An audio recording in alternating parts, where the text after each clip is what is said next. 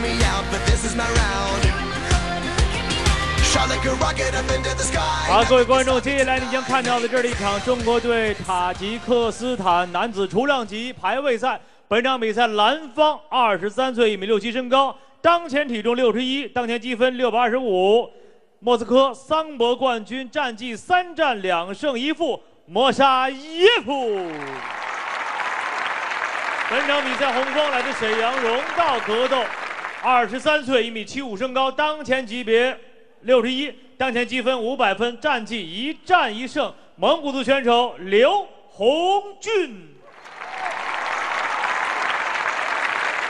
场上裁判员赵子阳，武林龙中队隆中开战。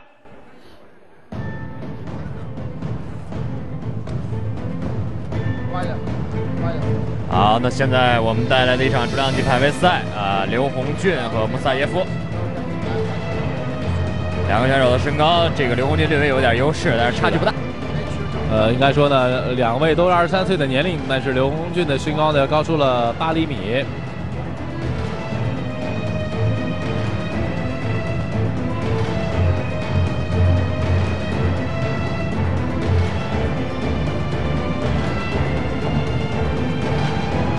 Judge, judge, judge, time,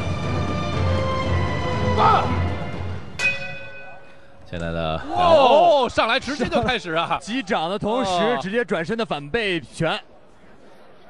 我们再一步把刘红俊压倒，刘红俊爬起来，卢巴达伊诺拿背，一个带摔，漂亮哦。上来之后，我们看到这个穆塔耶夫啊整个的呃这个砸击状态非常的快。啊，刘红俊用自己的腿的柔韧性逃了出来，双方还在这个地面上角逐，十字固，这个十字固，哦哇，哦，穆萨耶夫闪爆爆发，的太快了。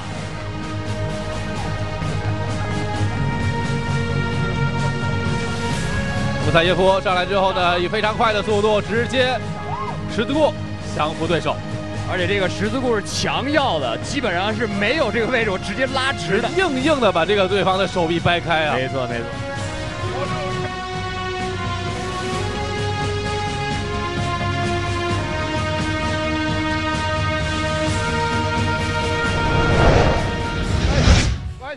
下面宣布比赛结果：